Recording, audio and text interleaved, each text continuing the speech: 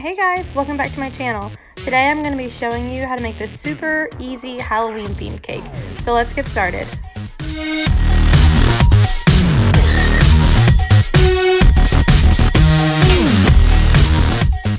Alright, to get started you're going to need two 8 inch cakes. I like to bake my cakes like a day or so in advance and I freeze them. Overnight I wrap them in clear wrap so they're nice and airtight when they're frozen or super chilled, it makes them a lot easier to work with. Then you're going to fill them with buttercream or an icing of your choice. Buttercream holds up much easier for these kind of decorative cakes. You're going to stack them, layer the middle, and then just you're going to go around and do your crumb coat. crumb coat is just a thin coat to trap in all the crumbs, and then you're going to pop this in the freezer again just for about 10 minutes until the crumb coat gets nice and firm.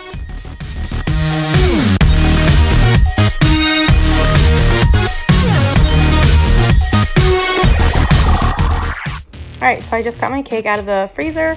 I had it sitting in there for about 10 minutes just to let the crumb coat set.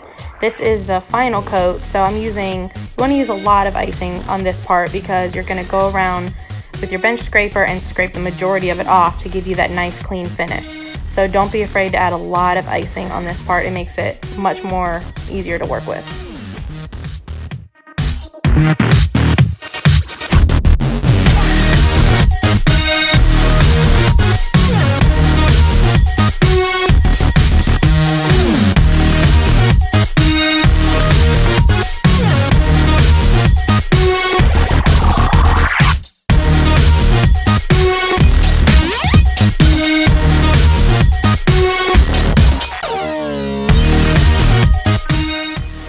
Once both of your tiers are completely iced and chilled, you definitely want to chill them for about 15 minutes in the freezer after you ice them so they will be easy to handle.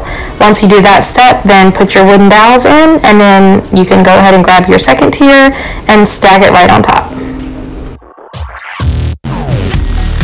After you stack them, just go around and pipe a border of your choice. I'm just doing a simple pearl border. My eight-year-old recorded this, so I do apologize.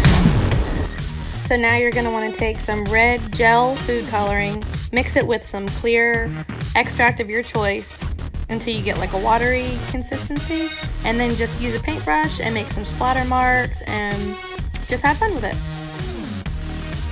Now I did put a sheet of parchment paper under my cake and behind my cake because this dye is extremely stout and my finger will probably be dyed red for a good two weeks. So you're gonna want to layer something under your cake and behind your cake during this part.